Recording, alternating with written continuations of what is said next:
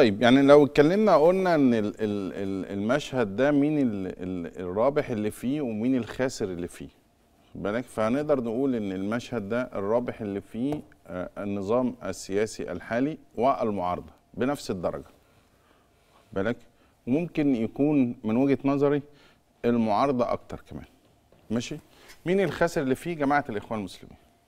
جماعة الإخوان الإرهابية الخائنة هي أكثر الخاسرين من هذا المشهد.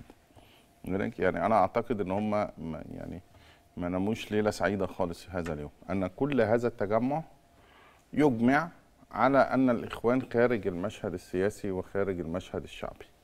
وكل هذا التجمع يجتمع بدون هذه الجماعة الإرهابية هذا. الفصيل أصبح منبوذا منبوذه من كل, كل هؤلاء آه.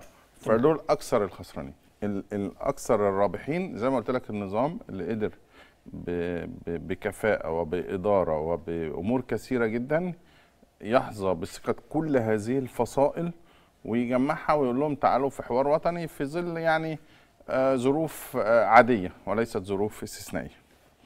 المعارضة كسبانة إن هي بتتواجد وبتساهم وبتعبر عن نفسها وطلعت في كل الدنيا قالوا اللي هم عايزينه بأقصى درجات ال- الشفافية والصراحة. الشفافية والصراحة وال- والجرأة وكل حاجة.